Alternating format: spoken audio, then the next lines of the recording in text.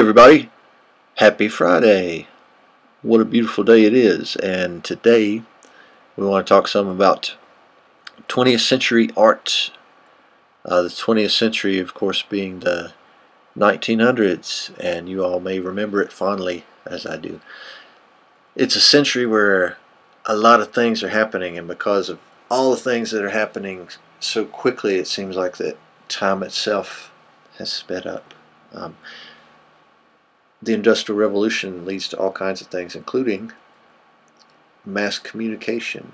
And communication spreads all over the world in a way that seems to make the world much smaller. And what used to be conflicts just between two countries uh, now involve the entire world. We get two world wars in the same century, which is amazing and an amazing amount of death and destruction and also an amazing amount of technological breakthrough and artistic influence. And so we get all these isms. We get tons of isms, um, and new art movements seem to be happening uh, every year. And then art movements spur other art movements, and art itself changes a lot. So it's no longer just sanctioned by the very wealthy or sponsored by the state. Uh, now art is in the process of becoming a personal expression and something that moves within its own way. So art isn't necessarily used to promote certain beliefs or agendas, or it still is in some cases, but uh, you hear the term art for art's sake. The idea that art itself is important outside of other ideas, and that it's a signifier of high culture. Um, a lot of things changed in the 20th century.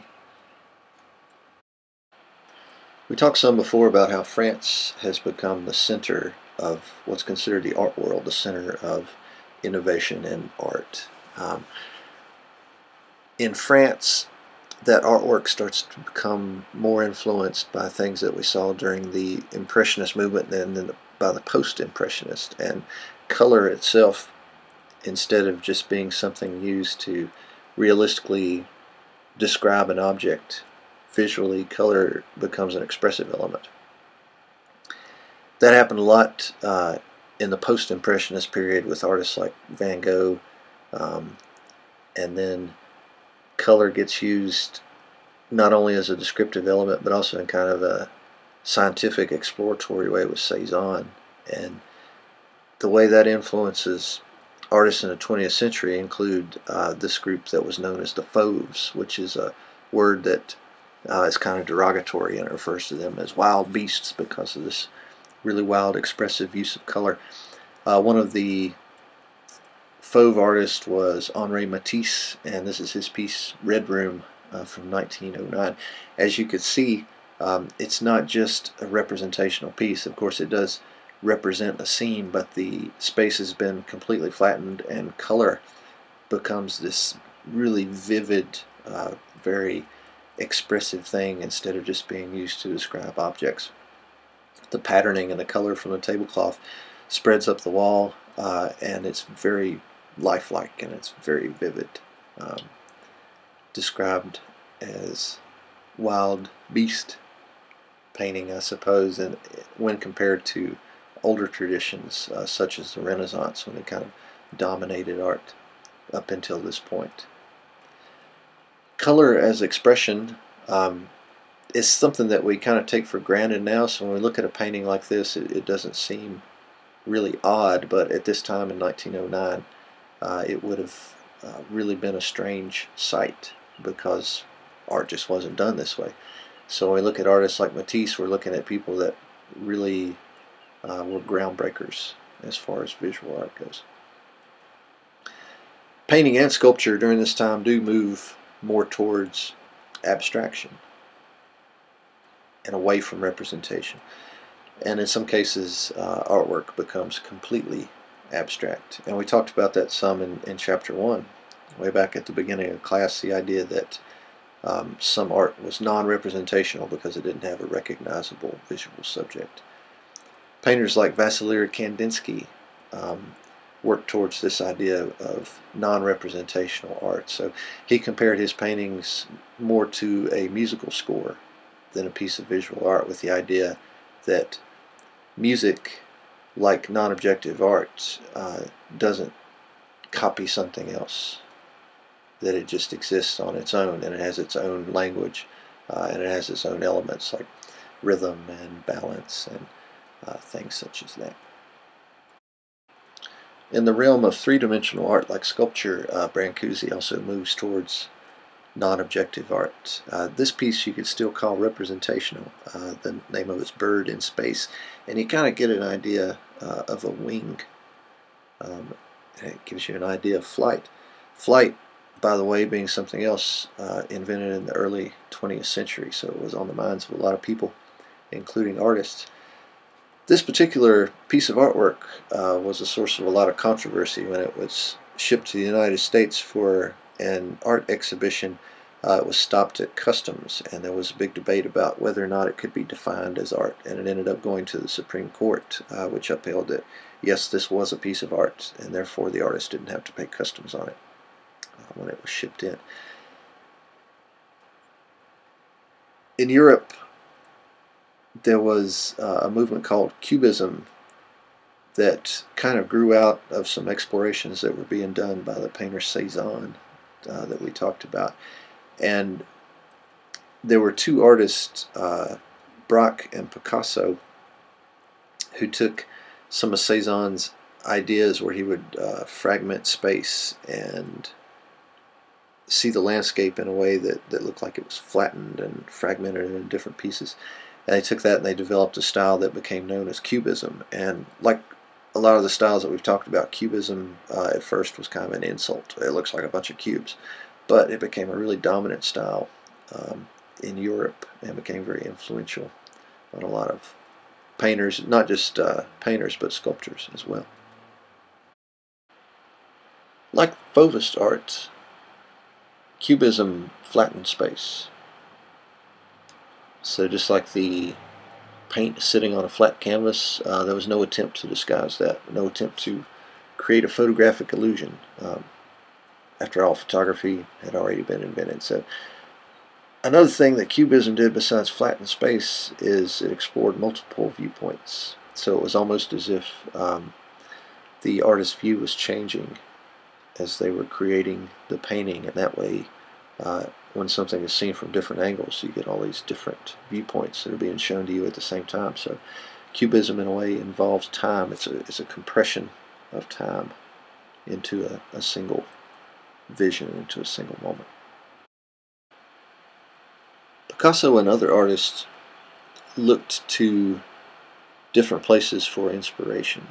So, artists working in the 20th century weren't just looking at the Renaissance anymore. Uh, they were looking at different cultures um, and sometimes uh, cultures that had completely different artistic sensibilities. Picasso had a big collection of African artwork and African masks, and you start to see some of that influence show up in his work. So uh, he wasn't the only European artist to borrow from these other cultures one thing that you have to say about uh, artwork in this time period that visually, while artists like Picasso were borrowing the appearance of African masks, they didn't seem too concerned about the other aspects of that artwork, like uh, what those masks represented and, and the cultural values that came with that. But they were very interested in the visual appearance, uh, and we see those masks show up uh, in this Cubist piece by Picasso. Um, the Damsels of Avignon, which uh, was actually a street that was known to be populated by brothels and houses of prostitution. So uh, basically, it's a painting of prostitutes standing in a window. Analytic cubism is the idea of analyzing something from different points of view and then compressing those points of view together into one painting. that evolves over time into what's called synthetic cubism, and that was affected also by collage technique. Uh, collage being the idea that instead of um,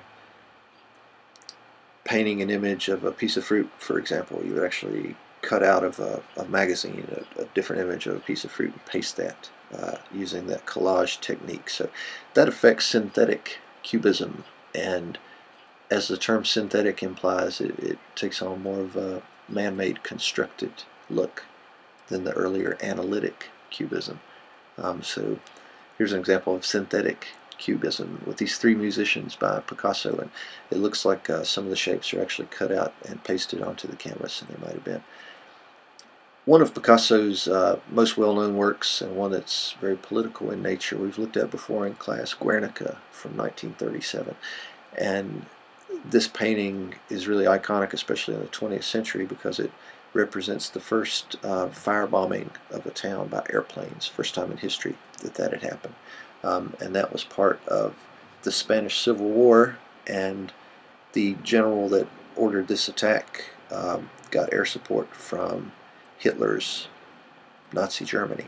And the result, of course, was death and destruction and, and, chaos. And it's a really emotional piece. It's very large. It's over 20 feet long. Uh, it certainly had a big impact lots of iconic imagery in this painting, like the bull itself being uh, and usually seen as a symbol of Spain, and here it has a spear going through its head, uh, the broken sword, the woman holding her dead child, which kind of reminds us of the Pietà, the idea of Mary holding a dead Christ, the light bulb, which we think of light as being kind of symbolic of um, thought and progress and goodness. But here the light is kind of used ironically as if to say if, if this is technological progress, then what have we done? Is, is this really enlightenment? Is this really the right direction uh, for humanity to be going in? It's a really powerful statement. In Italy, a movement gets going called Futurism uh, that is about motion and speed, and Futurism was influenced by Cubism. Um, some of the futurist pieces still look like they're being seen from different vantage points and points of view, but the emphasis becomes on motion and the idea of man moving forward into the future. Futurism is really optimistic movement, and it saw the technology evolving in the 20th century as being a positive thing that would benefit mankind. And so it's celebrated in artwork uh, as forward motion into the future. The artist Marcel Duchamp, French artist, was involved in lots of different movements. Um, here he's being influenced by Cubism, by Futurism, as you can see with the motion. Uh, and he's also being influenced by photography, stroboscopic photography. So uh, photo experiments at this time were being conducted with motion. So as, for example, as someone walked down the stairs, they would be hit with multiple flashes uh, to study locomotion and the movement of people and animals and machines. Um, and so that influenced this painting, Nude Descending Staircase. Uh, you can also see that cubist influence. It almost looks like a analytical cubist piece in the style of Picasso or Braque.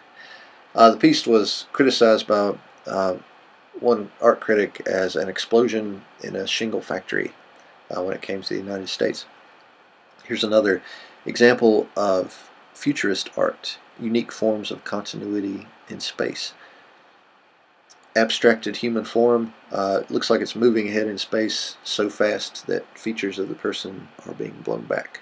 So there's that optimistic celebration of technological advancement, humans moving forward into the future.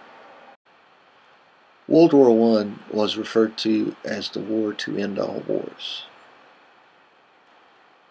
something on the scale of conflict that never happened before in history. And uh, there were many people that probably thought it was going to be the end of the world. Um, death and destruction that's uh, just on a massive scale. Machines that are being used to kill other people, machines flying through the air, dropping bombs, killing people, big, big uh, tanks, machines that, that roll around, shooting uh, machine guns for the first time in history. Um, and of course, this affected artists as well.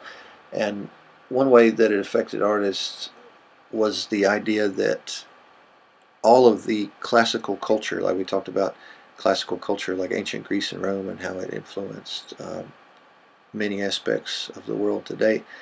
The Dada artists looked at all that, looked at that 2,000 years of classical cultural influence as being a, a sinister thing because all that, according to them, had led up to World War One. So the French academic history paintings of things like uh, Napoleon riding across the battlefield and war being seen as something that was a noble undertaking uh, and was part of your civic duty. That idea is being heavily criticized uh, as a mistake, as uh, misleading.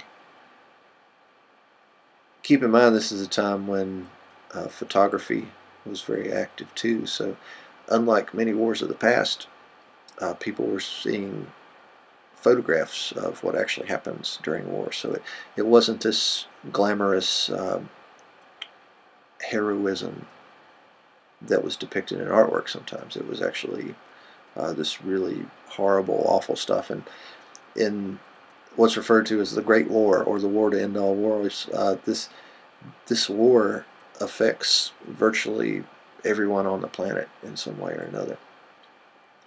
So the Dada artists started thinking about that in terms of artwork itself. And if 2,000 years of classical culture led up to this destruction, then maybe art itself had to be reinvented. And in order to reinvent art, art had to be destroyed. And one way to do that was to make it complete nonsense, um, to explore the idea of irrational thought, um, to completely destroy artwork. So Dada, in a way, was an anti-art movement. You could say it was against art. And the word Dada itself doesn't really mean anything. It's, it's a nonsense word, um, just like the idea of nonsense art. So if you see Dada artwork during this period as being about nonsense, as being about anti-art, then this piece makes a little more sense. Um, it's by Marcel Duchamp, the artist we looked at earlier with Nude Descending a Staircase. Uh, and this piece, great example of Dada. It's a urinal that's turned on its side. It's signed R. Mutt, 1917, and it was entered into and then rejected from an art exhibition. Considered by some people to be a very important piece in art history.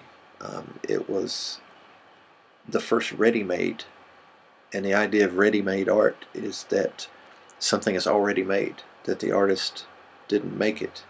They just appropriated it and used it as art. This is going to affect um, a lot of artwork. It's a revolutionary idea for art. So art no longer becomes about the technical process of showing you what things visually look like or exploring visual ideas. Now it's it's about ideas themselves. So it really transforms um, the way art is being thought about at this time. The ready-made. Here's another Dada piece by Marcel Duchamp, and in a way it's another ready-made because Marcel Duchamp didn't make this print of the Mona Lisa, and of course he didn't do the original painting that was uh, Leonardo da Vinci, but he took the print, um, which was a ready-made piece of artwork, and he changed it a little bit, drawing a goatee mustache and a beard onto the Mona Lisa and then writing some letters at the bottom. And the letters at the bottom are an acronym uh, for saying, and basically it means uh, she has a hot ass. So it's an insult to the Renaissance. It's an insult to Da Vinci. Um, it's an insult to the history of art. Again, with that not idea that art itself had to be destroyed, that it had to be reinvented. Um, there's a lot of humor involved in Dada work uh, because it is nonsensical, and sometimes that humor is really dark. Um, other examples of Dada artwork would include the idea of taking something that's useful and making it useless. If you recall in the chapter we talked about fine applied art, the difference between art and craft, and sometimes if you have a useful item, even though it might be very beautiful, someone would refer to that uh, as craft instead of art. But if it was something that could not be used for any other purpose then its aesthetic visual qualities, then that must be an artwork. So the Dada artists often would take useful objects um, and make them useless, and in that way they were transforming them into art. Uh, an example would be um, an iron for ironing clothes uh, with spikes put into it. So then it becomes useless, and it also becomes kind of this intimidating sort of weapon-like object, and that's a commentary on the use of technology in war. The Dada artists uh, were really interested in machines, and they saw the future of technology in a, a very pessimistic way. So they they didn't look at it the same way as the futurists who saw technology as kind of being the savior of humanity. The Dada artists saw technology that threatened to destroy man and man itself in danger of someday becoming a machine because they revered them so much and spent so much of their time and energy uh, being involved with machines.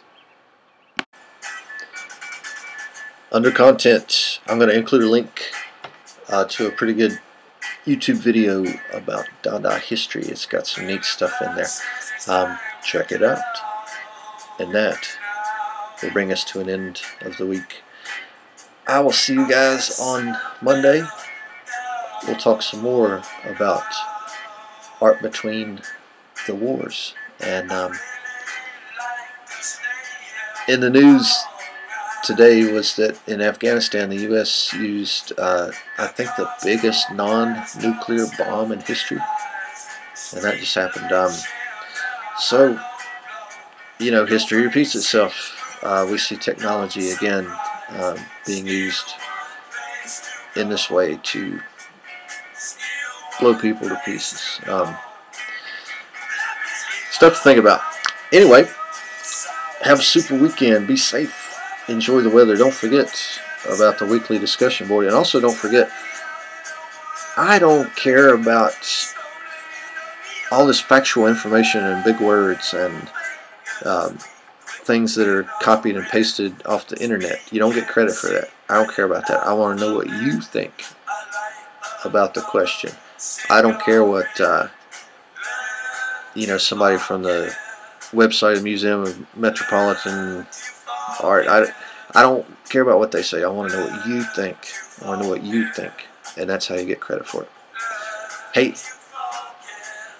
have a great weekend. See you later.